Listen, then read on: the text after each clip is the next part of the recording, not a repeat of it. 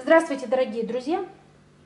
Сегодня я буду готовить салат свекла по-корейски. Свекла по-корейски, свекла по-корейски, как хотите называйте.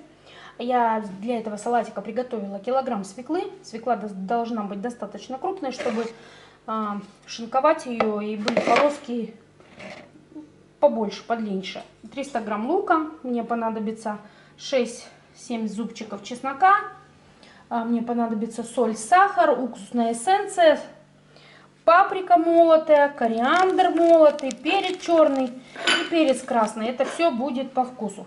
Для начала мне нужно натереть свеклу, посолить ее, чтобы она постояла.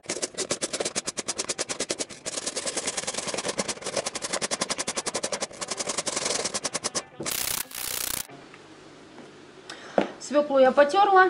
Теперь я беру чайную ложечку соли, солю перемешиваю все. И у меня это стоит свеколка.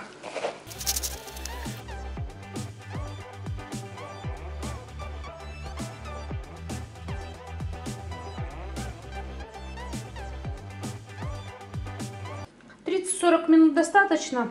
Сейчас мне нужно ее отжать. Но я сильно отжимать не буду. Прям до... Чтобы там сока не было. Так, средне отожму. Вот так вот пойдет. Свеклу я отжала. Вот столько сока у меня получилось. Мне нужно обжарить лук. Я его буду четверть кольцами обжаривать.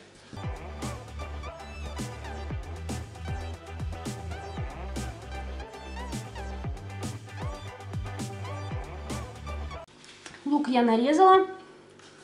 Теперь мне нужно его обжарить. Налила в сковороду ложек 6-7 масла. Ну, у меня 7 ложек.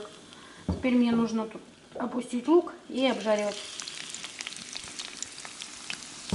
Пока у меня обжаривается лук, я подготовлю другие ингредиенты. Я порежу чеснок, добавлю специи. 7 зубчиков чеснока порезала. Вот я уже пол, одну чайную ложечку добавляла соли. И вот это у меня вторая без верха. Так, соли.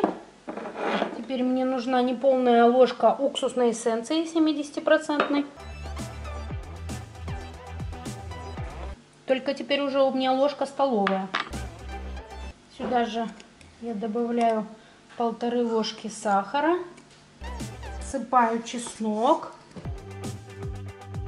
А это уже по желанию ваши любимые специи. Тут у меня паприка, Эй, боишься? София, подожди немножечко. Хорошо? А, молотый кориандр у меня.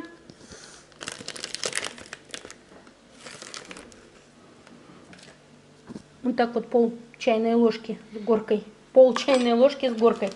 Черный перчик. Тоже по вкусу сыпьте. И красный перчик. Смотрите сами, сколько вы его насыпите. Я буду вот эту Мне остается все перемешать. Сейчас масло добавлю сюда с луком. И самое главное я забыла. Я обожаю кунжут.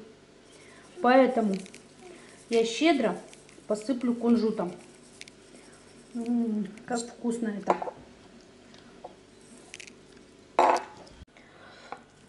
Все, лук уже с маслицем здесь.